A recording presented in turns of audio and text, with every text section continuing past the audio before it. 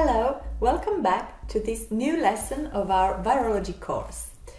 Before speaking about another important family called Togaviridae family, I want to tell you which are the main infant disease.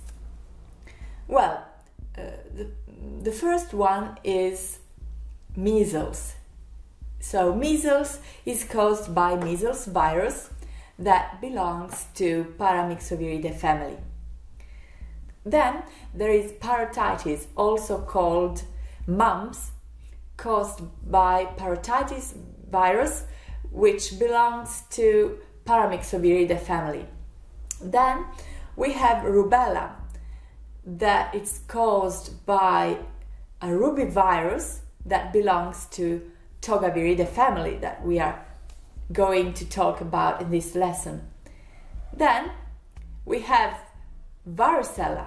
Varicella is caused by herpes virus number 3 uh, that belongs to herpes viridae family, in particular to alpha herpes virinae subfamily. Afterwards, we have to talk about pertussis.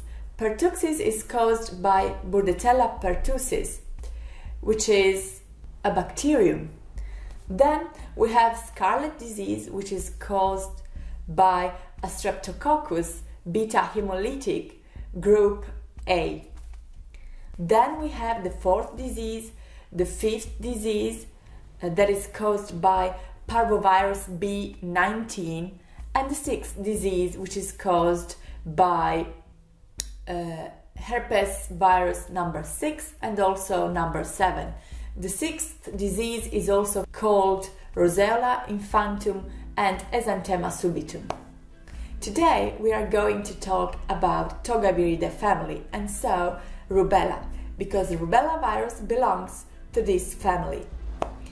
In this family we have RNA viruses with a single strand RNA with positive polarity.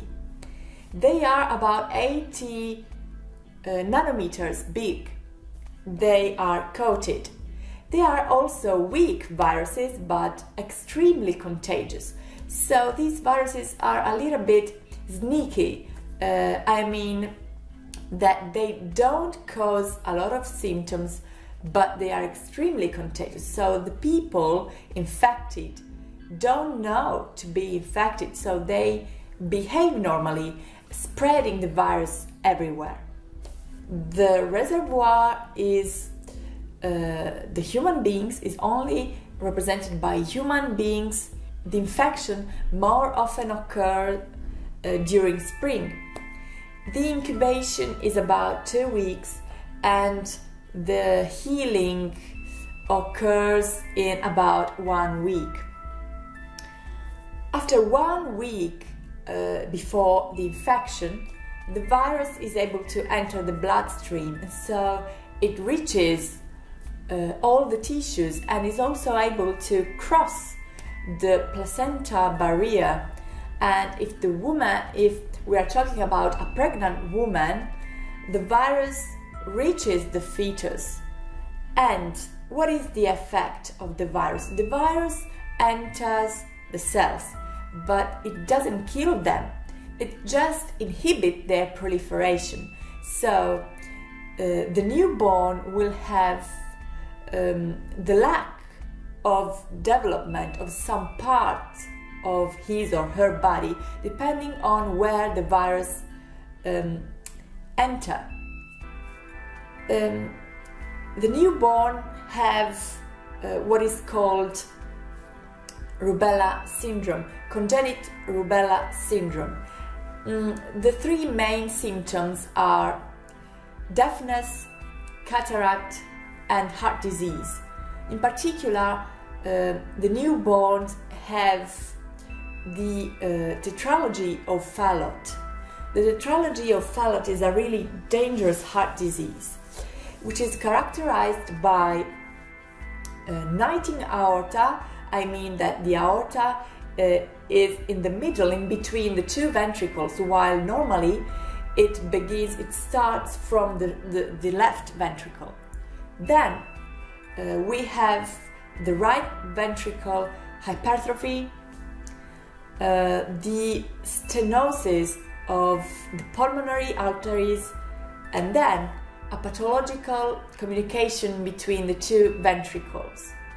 So, normally, the two ventricles don't communicate because uh, it's important to keep separated the oxygenated blood, which is in the, in the left ventricle, and the non-oxygenated blood, uh, which is which is located normally in the right ventricle.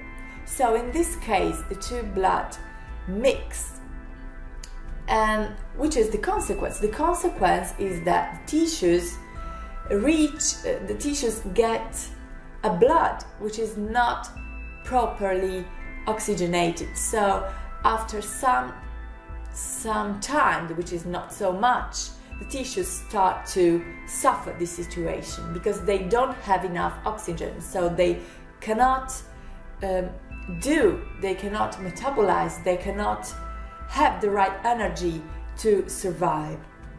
If the fetus infection occurs um, in within the 12, the 12 weeks of pregnancy, so the syndrome is likely uh, to develop. I mean that it's almost sure that the newborn will have the syndrome. If the infection occurs after the three months uh, of pregnancy, well, uh, the fetus will have the syndrome, but it will have less symptoms. If the infection occurs after the 16th week of pregnancy, mm, then the physical development will be normal. The most common complications related to this disease are the post infective encephalomyelitis and a progressive panencephalitis. Then the virus can also replicate inside.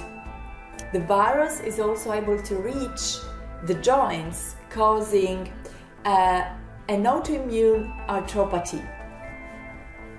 We have the vaccine. The vaccine is a trivalent vaccine.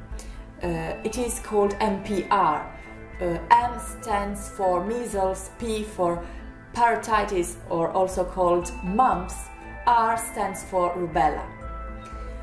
This vaccine doesn't have to be administered to the women, to the pregnant women, of course, and to the women who are going to be pregnant.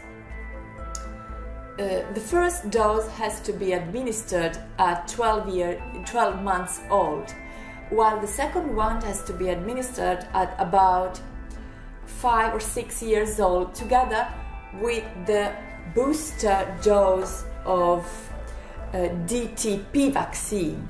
Uh, D stands for uh, diphtheria, T stands for tetanus, and P stands for pertussis. Okay, that's all for now. I'll see you soon. Bye.